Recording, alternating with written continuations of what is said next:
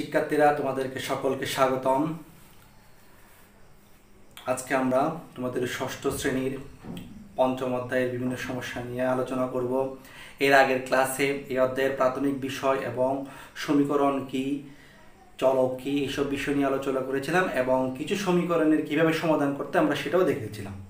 আজকে আমরা যেই সমস্যাগুলো সমাধান করব, সেগুলো হলো অনুশীলনের। প্রথমত আমরা জানব কীভাবে সমীকরণ গঠন করতে হয়। আমরা এর আগের ক্লাসে কিন্তু কি করেছিলাম?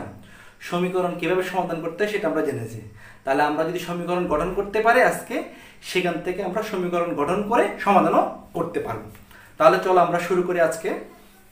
আজকে আমাদের, তোমাদের প্রথম যে সমস্যাটা আমরা আলোচনা করব, সেটা হলো যে তোমাদের অনুশীলনের পঞ্চম অধ্যায়ের একশো চার পৃষ্ঠার চব্বিশ নম্বর অঙ্ক থেকে। চব্বিশ থেকে পঁয়ত্রিশ নম্বর এই সমীকরণ সমাধানগুলো সমস্যাগুলো হলো সমীকরণ গঠন করে সমাধান করতে বলা হয়েছে এবং এখানে শেষে দুইটি অর্থাৎ সৃজনশীল, আমরা যেটা পঞ্চম শ্রেণীতে যোগ্যতা ভিত্তিক প্রশ্নের সমাধান করেছিলাম, সে ধরনের দুইটি প্রশ্ন আছে, চৌত্রিশ এবং পঁয়ত্রিশ।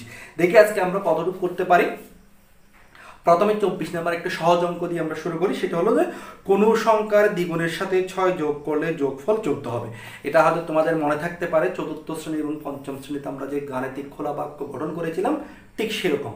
অজানা একটা সংখ্যা, আমাদেরকে বলা হয়েছে কোনো সংখ্যার দ্বিগুণের সাথে, অর্থাৎ আমি একটা সংখ্যা জানি না, তার সাথে যদি দ্বিগুণ কি করি? তার দ্বিগুণের সাথে যদি ছয় যোগ করি, তাহলে যোগফল কত হবে? চোদ্দ হবে। তাহলে আমরা প্রথমে সমস্যাটা সমাধান করে, আমরা যেটা জানি না, সেটা আমরা ধরে নিই। যেহেতু আমরা এটা বীজগণিত করতেছি বীজগণিত আরেকটা জিনিস মনে রাখব, বীজগণিতে পাটিগণিতীয় জিনিস ক ক এগুলো ধরা যাবে না। ঠিক আছে? এখানে আমাদেরকে X Y Z A B এগুলো ধরতে হবে। কিন্তু আমরা পাটিগণিতে চাইলে কি করতে পারব? বীজগণিতীয় জিনিস এক্স ওয়াই ধরতে পারব। তাহলে এখানে আমি ক ধরতে পারব না, আমরা চতুর্থ এবং পঞ্চম শ্রেণীতে ক ধরে করেছিলাম। এখন আমরা করব এক্স ধরে। তো আমরা লিখি, আমাদের এটা হলো, প্রথমে হলো চব্বিশ নাম্বার।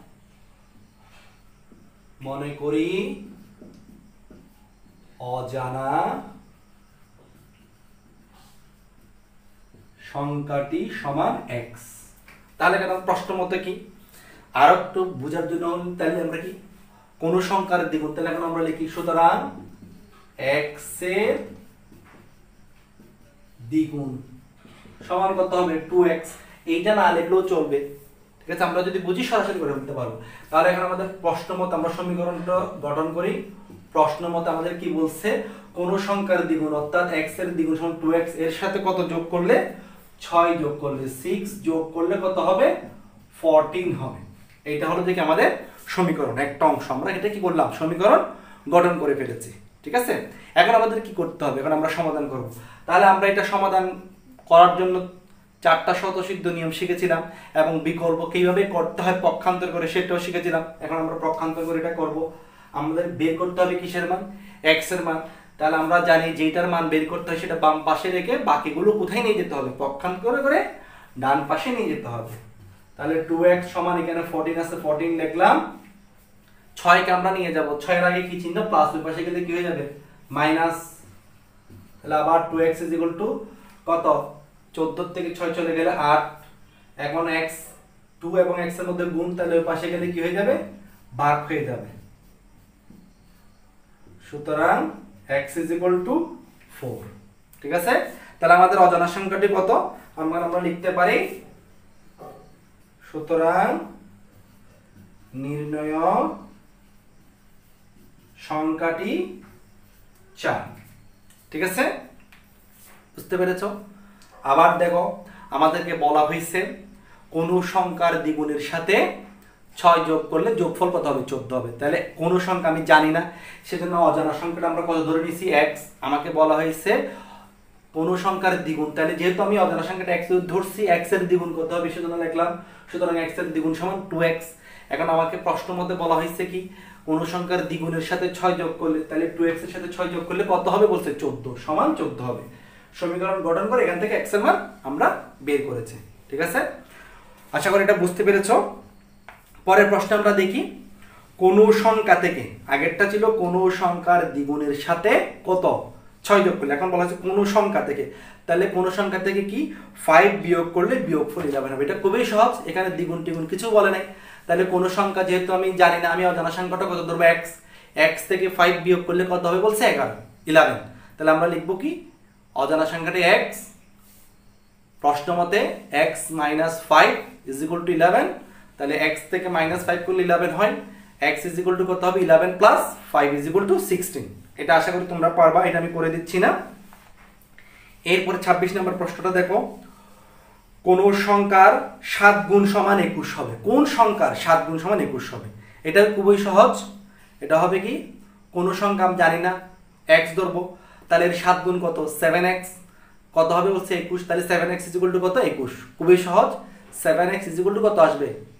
সেভেন টোয়েন্টি ওয়ান তাহলে আমরা এটা লিখতে পারি এক্স অজানা সংখ্যাটি। এখানে আমরা করি এটা। ছাব্বিশ নাম্বার। অজানা সংখ্যাটি এক্সের কত গুণ বলছে? সাত গুণ। সাত গুণ সমান কত? সেভেন এক্স তাহলে প্রশ্ন মতো কি দাঁড়াচ্ছে? Seven X is equal to twenty one X is to কত? Twenty one divided by seven সুতরাং এক্স ইজ টু কত? থ্রি ছাব্বিশ নাম্বারটা করে দিলাম, আমি পঁচিশ নাম্বারটা করে দিই নাই, এটা তোমরা নিজেরা চেষ্টা করবে। এরপরে দেখি আমরা জটিল টাইপের কোনো প্রশ্ন পাই কিনা। কোনো সংখ্যার চার গুণের সাথে তিন যোগ করলে তেইশ হবে, এটা একদম এর মতো চব্বিশ নাম্বারের মতো চব্বিশ নাম্বারে আমরা কি করেছি? কোনো সংখ্যার দ্বিগুণ, এখানে বলছে চার গুণ, আগে কত যোগ করছি? ছয়, এখন যোগ করতে বলছে কত? থ্রি তাহলে ফোর এক্স এখানে যেহেতু চার গুণ বলছে four X plus three is equal to কত হবে? টোয়েন্টি থ্রি হবে, এখান থেকে আমরা এক্সের মান বের করব। এটাও তোমরা পারবা বলে আমি আশা করি। এটাও তোমরা কি করবে? বাসায় এস ডাব্লিউ করবে। এরপর আমরা চলে যাই আঠাশ নাম্বার। আঠাশ নাম্বার বলা হয়েছে কোন সংখ্যার পাঁচ গুণের সাথে, এটা একটু ভিন্ন দবি, সেজন্য এটা দেখো, আমি করে দিব। কোন সংখ্যার পাঁচ গুণের সাথে ওই সংখ্যার তিন গুণ যোগ করলে যোগফল থার্টি টু হয়। তাহলে সংখ্যাটি কত? ঠিক আছে? কোন সংখ্যার কোন সংখ্যার পাঁচ গুণের সাথে যদি তিন গুণ যোগ করা হয় থার্টি টু হয়। তাহলে আমরা এখানে লিখি, এটা হলো আঠাশ নম্বর। অজানা সংখ্যাটি কত? এক্সের প্রথমে বলছে এক্সের পাঁচ গুণ। তাহলে এখানে আমি লিখব x এর 5 গুণ। 5 গুণ সমান কত হবে? 5x অনুরূপভাবে x এর 3 গুণ। 3 গুণ সমান কত হবে? 3x তাহলে এখন প্রশ্ন মতে কি দাঁড়াচ্ছে? 5x এর সাথে 3x যোগ করলে প্রশ্ন মতে 5x 3x 32 এখন দেখো এটাও এক্স এটাও এক্স একই রকমগুলো আমরা যোগ করব। তাহলে ফাইভ এক্সের সাথে থ্রি এক্স যোগ করলে হবে eight X is equal to thirty two এখন এইটার সাথে এক্সের সম্পর্কটা কি? গুণ, তাহলে ওই পাশে নিয়ে গেলে কি হয়ে যাবে? ভাগ হয়ে যাবে। চার আটে বত্রিশ, সুতরাং এক্স ইজ টু ফোর সুতরাং নির্ণয় সংখ্যাটি ফোর এরপরের অঙ্কে চলে যাই আমরা। কোন সংখ্যার চার গুণ থেকে ওই সংখ্যার দ্বিগুণ বিয়োগ করলে বিয়োগ বিয়োগফল কত হবে? চব্বিশ। এটা এটার মতন, ঠিক আছে? এটা করে কোন সংখ্যার চার গুণ থেকে ওই সংখ্যার দ্বিগুণ, এটা উনত্রিশ নাম্বার। অজানা সংখ্যাটি এক্স এক্সের, এটা হবে চার গুণ। তাহলে আমরা লিখব এখানে এক্সের চার গুণ সমান ফোর এক্স এক্সের দ্বিগুণ সমান টু এক্স এখন আমাদেরকে প্রশ্ন মতে কি বলা হয়েছে? কোন সংখ্যার চার গুণ থেকে দুই গুণ বিয়োগ করলে বিয়োগফল চব্বিশ হয়। তাহলে প্রশ্ন মতে হবে four X minus two X is equal to twenty four এখন আগেরটাতে যোগ করেছিলাম, এখন বিয়োগ। চারটা এক্স থেকে দুইটা এক্স চলে গেলে কত হবে? আরও দুইটা এক্স তাহলে two X is equal to twenty four two এর সাথে এক্সের সম্পর্কটা কি? গুণ। ওই পাশে গেলে কি হয়ে যাবে? ভাগ। সুতরাং এক্স is equal to 12 এখন দেখো, একটা সংখ্যার চার গুণ কত? চার আটে? চার x এর যেহেতু 12 তাহলে কত? চার বারো, আটচল্লিশ। আর দ্বিগুণ হলে কত হবে? বারো থেকে চব্বিশ, আটচল্লিশ থেকে চব্বিশ চলে গেলে কত? চব্বিশ। তাহলে আমরা বুঝলাম যে আমাদের উত্তরটা সঠিক হয়েছে। এরপর একটু এখন যেগুলো আসতেছে, এই অঙ্কগুলোই যে তোমাদের তিরিশ, একত্রিশ, বত্রিশ, তেত্রিশ, এই অঙ্কগুলোই সাধারণত তোমাদের পরীক্ষায় সৃজনশীল প্রশ্ন হিসেবে আসে। আমরা এখন সেইগুলো করার চেষ্টা করব। প্রশ্নটা আমাকে আমরা পড়ি এরপরে প্রশ্নটা কি বলা হয়েছে? তিরিশ নম্বর প্রশ্নে বলা হয়েছে, একটি কলমের দাম যত টাকা? তা থেকে দুই টাকা কম হলে দাম হতো দশ টাকা। কলমটির দাম কত? একটি কলমের দাম যত টাকা, তা থেকে দুই টাকা কম হলে। তাহলে আমি যেহেতু কলমের দাম জানি না, আমরা ধরে নিলাম কলমের দাম, মনে করি কলমের দামটি কত? এক্স ঠিক আছে? এটা ওইটার মতন, বেশি জটিল না। এটা হলো ত্রিশ নাম্বার। আগে অজানা সংখ্যাটা লিখছি, এখন লিখব, মনে করি কলমের দাম সমান এক্স তাহলে এখন প্রশ্ন মতে কি হবে? প্রশ্ন মতো হবে এক্স টাকা। যদি দুই টাকা কম হইতো তার মানে বিয়োগ করতে হবে এক্স থেকে দুই বিয়োগ। সমান কত হইতো? দশ টাকা। বা X is equal to ten plus two সুতরাং এক্স ইজ ইকুয়াল টু কত? টুয়েলভ তাহলে কলমের দাম কত? সুতরাং আমরা লিখতে পারি, সুতরাং কলমের দাম টুয়েলভ টাকা। ঠিক আছে? আমরা এরপর এখন পরবর্তী অঙ্কে চলে যাব। পরবর্তী প্রশ্নটা দেখি। একত্রিশ নম্বর অঙ্কে বলা হয়েছে, কণিকার কাছে যতগুলো চকলেট আছে, তার চার গুণ চকলেট আছে মনিকার কাছে। দুইজনের একত্রে টোয়েন্টি ফাইভটি চকলেট আছে, কণিকার কতগুলো চকলেট আছে? ঠিক আছে? তাহলে আমরা প্রথমে লিখব কি? কণিকার কাছে, প্রশ্ন করে আগে বুঝতে হবে কার কম আছে। কণিকার যতগুলো আছে তার চার গুণ চকলেট আছে মনিকার তাহলে কম আছে কার? কণিকার যেটা বের করতে বলছে সেটাই আছে। এখন প্রশ্নে আমাকে কণিকারটাও বের করতে বলতে পারে, মনিকারটাও বের করতে বলতে পারে সৃজনশীল। তাহলে আমরা প্রথমে লিখব একত্রিশ নাম্বার। মনে করি কণিকার চকলেট আছে এক্সটি সুতরাং মনিকার আছে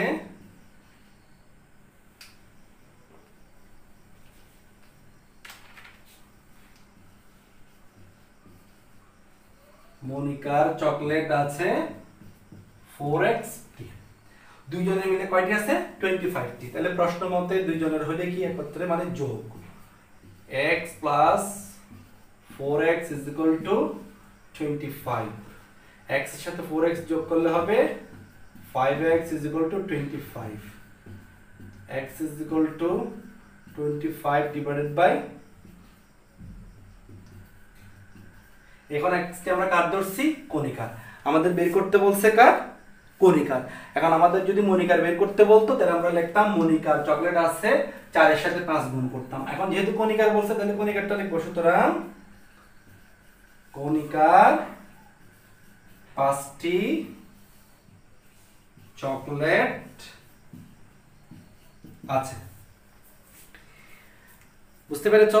আবার দেখো, বলছে কণিকার আছে, যতটি চকলেট আছে মনিকার তার চার গুণ আছে, সেজন্য আমরা লিখলাম কণিকার চকলেট আছে এক্সটি মনিকার আছে তাহলে চার গুণ, ফোর এক্স, দুইজনের কতটি আছে? টোয়েন্টি ফাইভটি, সেজন্য লিখলাম প্রশ্ন মতে X plus four X twenty five, সেখান থেকে আমরা কি করলাম? এক্সের মান বের করলাম ফাইভ বের হলো। তার অর্থ হলো কণিকার পাঁচটি চকলেট আছে। এখন এরপর আমরা পরবর্তী সমস্যাটাতে চলে যাব। পরবর্তী যে সমস্যাটি আছে, সেটাতে বলা হয়েছে দুইটি ক্রমিক স্বাভাবিক জোড় সংখ্যার যোগফল। থার্টি হলে সংখ্যা দুটি নির্ণয় করো। এরপর আছে তিনটি ক্রমিক স্বাভাবিক বিজোড় সংখ্যা। দেখো জোর বিজোড়। আমাকে যদি ক্রমিক বলে, ক্রমিক মানে কি? পরপর। ক্রমিক মানে কি? পরপর। যেমন আমার যদি প্রথম সংখ্যাটি তিন হয়, পরের ক্রমিক সংখ্যাটি কত হবে? তিনের সাথে এক যোগ করলে চার। তারপরের ক্রমিক সংখ্যাটি কত হবে? চারের সাথে এক যোগ করলে পাঁচ। উল্টাও হইতে পারে। আমি যদি সবচেয়ে ছোটটা ধরি, তখন যোগ হবে। আমি যদি বড় সংখ্যাটি তিনটি ক্রমিক স্বাভাবিক সংখ্যার বড়টা ধরি, বড়টা ধরলাম দশ। তাহলে এর আগেরটা কত হবে? Ten minus one, nine. এর আগেরটা কত হবে? Nine minus one, eight. ঠিক আছে? এভাবে করে। যেহেতু এখন জোর বলছে, তাহলে জোর হইলে কি হবে? আমার জোর হইলে হবে দুই দুই করে। আমার যদি সবচেয়ে ছোট ক্রমিক জোর সংখ্যাটা যদি এক্স হয়, তাহলে পরের ক্রমিক সংখ্যাটি কত হবে? এক্স প্লাস টু জোরের ক্ষেত্রেও দুই দুই বাড়বে, বিজোরের ক্ষেত্রেও কি কি? দুই দুই বাড়বে বা কমবে। তাহলে আমরা প্রথমে দেখি, মনে করি বত্রিশ নাম্বার। মনে করি প্রথম জোর সংখ্যাটি, প্রথম জোড় সংখ্যাটি এক্স তাহলে দ্বিতীয় সুতরাং দ্বিতীয় জোড় সংখ্যাটি কত হবে? এক্স প্লাস টু তাহলে এখন দুটোটা যোগ করলে কত হবে বলছে? থার্টি তাহলে দেখো, প্রশ্ন মতে প্রথম জোড় সংখ্যা কত? এক্স এই জায়গাটাতে আবার অনেকে কি করো? ভুল করো। অনেকে লেখা X plus two is two thirty না, একটা এক্স আর একটা হলো তো কত? এক্স প্লাস টু তাহলে সেটাও লিখতে হবে প্লাস দিয়ে X plus two is equal to thirty. এখন আমরা এখানে একসাথে দুইটা কাজ করব। যেহেতু আমরা মান বের করব এক্সের এক্সটা বাম পাশে রেখে ওটা ডান পাশে নিয়ে যাব। আবার বাম পাশে দুই, দুইটা এক্স আছে, এখানে একটা এক্স এখানে একটা আছে। এই এক, এই এক্সের সাথে এক্স অর্থাৎ ওয়ান এক্সের সাথে ওয়ান এক্স যোগ করলে কত হবে? টু এক্স আমাদের সহগে কিন্তু ওয়ান আছে। ওয়ান থাকলে আমরা লিখি না। টু থ্রি এরকম থাকলে লিখি। Equal to thirty minus two বা two x is equal to twenty eight এই এক্সের সাথে টু এর সম্পর্কটা কি? গুণের পাশে গেলে কি হয়ে যাবে? ভাগ।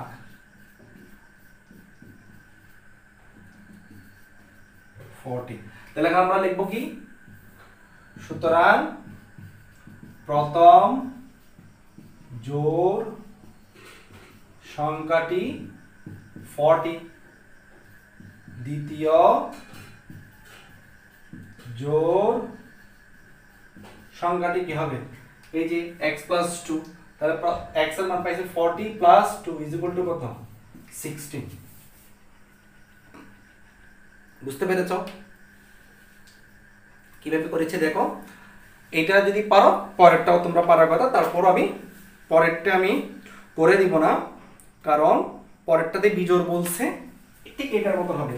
আমরা প্রথমে এক তেত্রিশ নম্বর লিখব, প্রথম বিজোড় সংখ্যাটি কত? এক্স দ্বিতীয় বিজোড় সংখ্যাটি কত? এক্স প্লাস টু তৃতীয় বিজোড় সংখ্যাটি কত হবে? X plus two plus two অর্থাৎ এক্স প্লাস ফোর তারপর তিনোটা যোগ করলে কত হবে? টোয়েন্টি সেভেন সেটা আমাদের বলে দেওয়া আছে, সেটা আমরা ওইখান থেকে করব। এখন আমরা চলে যাব আজকে অন্তত একটা যোগ্যতা ভিত্তিক সমস্যার সমাধান করার জন্য। আমরা এখন তোমাদের অনুশীলনের যে চৌত্রিশ নম্বর সৃজনশীলটি আছে, সেটি করার চেষ্টা করব। সেই প্রশ্নটি আগে আমরা পড়ে নিই, কি বলতে বলা হয়েছে। উদ্দীপক আছে, একটি আয়তকার ফুল বাগানের প্রস্থ অপেক্ষা দৈর্ঘ্য দুই মিটার বেশি। আমরা দেখো এটা বহু নির্বাচনে কিন্তু, আমরা এর আগে এটা আমরা কি, বহু নির্বাচনীতে ছিল। আমরা যদি বহু নির্বাচনীগুলো কি সমাধান করি নাই, তাহলে আমরা বহু নির্বাচনী করার জন্য আগে এটা, এগুলো দরকার আছে।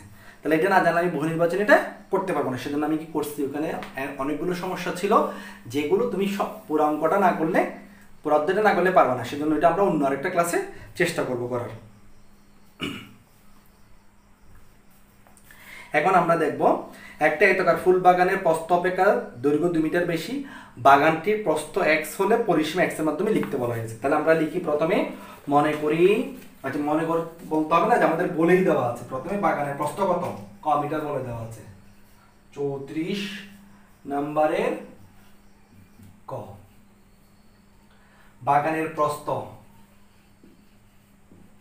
বাগানের প্রস্থ এক্স মিটার। দৈর্ঘ্য কথা বলা হয়েছে? দৈর্ঘ্য বলা হয়েছে প্রস্থ অপেক্ষা দুই মিটার বেশি। লিখলাম। এখন আমাদেরকে বলা হয়েছে পরিসীমা কিসের মাধ্যমে প্রকাশ করো? এক্স মাধ্যমে। তাহলে বাগানের পরিসীমা। সুতরাং বাগানের পরিসীমা, এখন আমাদের পরিসীমার সূত্র জানতে হবে। পরিসীমা হলো যে চারপাশে, এই বোর্ডটা যদি কল্পনা করি, তার চারপাশ। এদিকে একটা দৈর্ঘ্য, এদিকে একটা দৈর্ঘ্য। দৈর্ঘ্য কয়টা? দুইটা। প্রস্থ দিকে একটা, এদিকে একটা। কয়টা? দুইটা। তাহলে আমরা দুইটা দৈর্ঘ্য, দুইটা প্রস্থ যোগ, দুইটা দৈর্ঘ্য যোগ, দুইটা প্রস্থ। হবে না লিখে আমরা লিখি কি? টু ইন্টু দৈর্ঘ্য যোগ প্রস্থ। অর্থাৎ দৈর্ঘ্য প্রস্থকে যদি যোগ করি, সেটাকে দুই দিয়ে গুণ করলে কি হয়ে যাবে? পরিসীমা বের হয়ে যাবে। এখন আমাদের দৈর্ঘ্য হলো কত? এক্স প্লাস টু প্রস্থ হলো কত? এক্স এক্সের সাথে এক্স যোগ করলে কত হবে? টু এক্স প্লাস টু এখন এটা যদি আমরা করি ফোর এক্স প্লাস ফোর আমাদের পরিসীমা হলো কত? ফোর এক্স প্লাস ফোর এটাকে চাইলে আমরা কি করতে পারি আবার? এখানে ফোরটা যদি কমন নিই, তাহলে হবে কত? এক্স প্লাস ওয়ান বুঝতে পেরেছ? এটা হলো যে আমাদের আমাদের চৌত্রিশ নাম্বার যে সৃজনশীল, সেটা কয়ের সমাধান। এরপর আমাদেরকে খ নম্বরে কি বলা হয়েছে? বাগানটির পরিসীমা থার্টি সিক্স মিটার হলে প্রস্থ কত খ নম্বরটা আরও সহজ। পরিসীমা আমরা অলরেডি বের করে ফেলছি কত? Four into x plus one ঠিক আছে? তাহলে এখানে আমরা লিখব ক হতে পাই। যেহেতু আমরা ক হতেটা পেয়েছি, আমরা খতে লিখব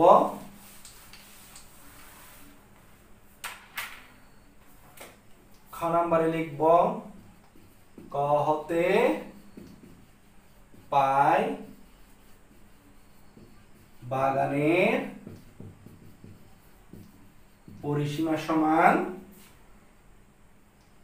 four into x plus one metre এখন আমাদেরকে প্রশ্নে, খ নাম্বার প্রশ্নে কি পরিসীমা কত বলে দেওয়া আছে? তাহলে আমরা লিখব, প্রশ্ন মতে বা শর্ত মতে, প্রশ্ন মতে four into x plus one is equal to কত? থার্টি সিক্স ঠিক আছে? এখন দেখো ব্র্যাকেটের ভিতরে যেটা আছে সেটার সাথে ফোর এর সম্পর্কটা কি? গুণ। তাহলে পাশে গেলে কি হয়ে যাবে? ভাগ হয়ে যাবে। Thirty six divided by four four K four দিয়ে থার্টি সিক্স ভাগ করলে নাইন এখন এক্সের সাথে ওয়ানের সম্পর্কটা কি? যোগ, তাহলে পাশে গেলে কি হয়ে যাবে? বিয়োগ হয়ে যাবে। X is equal to nine minus one সুতরাং টু কত? এইট এখন আমাদেরকে বলা হয়েছে বাগানের পরিসীমা থার্টি সিক্স মিটার হলে প্রস্থ কত? তাহলে আমরা প্রস্থ কত ধরেছি? এক্স ধরেছি, তাহলে আমাদের প্রস্থ হবে কত? আট মিটার। সুতরাং বাগানের প্রস্থ আট মিটার। খুবই সহজ। একটু মনোযোগ দিয়ে যদি করো, তাহলে আশা করি তোমরা বুঝতে পারবা। যদি মনোযোগ না থাকে, তাহলে তো বুঝতে পারবে না। আমরা এরপর এখন আজকের শেষ যে অঙ্কটি করব, অর্থাৎ চৌত্রিশ নম্বর সৃজনশীলের গ নম্বর প্রশ্নটা আমরা দেখি, কি বলা হয়েছে? বাগান পরিষ্কার করতে মোট তিনশো বিশ টাকা খরচ হলে প্রতি বর্গ মিটার পরিষ্কার করতে কত খরচ হবে? ঠিক আছে? তাহলে বাগান আমরা একটাকে চিত্র আঁকতে হবে এখানে। গ নম্বরে আমরা একটা চিত্র আঁকবো। আমরা এটা ক নাম্বারও আঁকতে পারতাম। আগে আমরা দেখি গ নাম্বারে। একটা বাগান ছোট করে রাখলাম এইটা। তাহলে যার প্রস্থ ছিল কত? আট। দৈর্ঘ্য কত? দুই মিটার বেশি। তাহলে আট আর সাথে দুই যোগ করলে কত হবে? দশ। ঠিক আছে? বাগানটি পরিষ্কার করতে কি বোঝাচ্ছে? এই পুরো অংশটাই পরিষ্কার করতে তিনশো বিশ টাকা খরচ হয়েছে। তাহলে এখানে কতটুক জমি সেটা আমাদের বের করতে হবে। ওই জায়গাটার পরিমাণ বের করতে হবে। তাহলে জায়গার পরিমাণ বের করার জন্য আমাদের কি করতে হয়? ক্ষেত্রফল বের করতে হয়। ক্ষেত্রফলের সূত্রকে আমাকে এখানে কি বলছে? বাগানের ক্ষেত্রফল বের করো, এখানে কিন্তু আমাদের প্রশ্ন কোনো জায়গায় বলা নাই। বাগানের ক্ষেত্রফল বের করতে হবে অথবা ক্ষেত্রফল বের করে অঙ্কটা করতে হবে। এটা আমাদের প্রশ্ন পড়ে বুঝতে হবে। এইটাই হলো যে অঙ্ক। এটা যদি তুমি না বোঝো, তাহলে পারবা না। তাহলে আমরা এখানে আগে প্রথমে লিখব কি, ক হতে প্রাপ্ত বাগানের প্রস্থ আমরা পাই ক হতে প্রাপ্ত বাগানের প্রস্থ আট মিটার বাগানের দৈর্ঘ্য কত হবে? আট যোগ দুই বা টেন মিটার। এখন কি হবে বাগানের ক্ষেত্রফল? ক্ষেত্রফলের সূত্র কি? দৈর্ঘ্য গুণ প্রস্থ। দৈর্ঘ্য কত? দশ, প্রস্থ কত? এইট এটা কি? এখানে একটা মিটার, এখানে একটা মিটার। দুইটা মিটার গুণ করলে কি হবে? বর্গ মিটার ইকুয়াল টু কত? এইটটি বর্গ মিটার এখন দেখো, এই পুরো জমিটা হলো যে এইটটি বর্গ মিটার এটা পরিষ্কার করতে কত টাকা খরচ হয়? তিনশো বিশ টাকা। তাহলে আমরা লিখব, আশি বর্গ মিটার পরিষ্কার করতে খরচ হয়। অর্থাৎ এইটটি বর্গ মিটার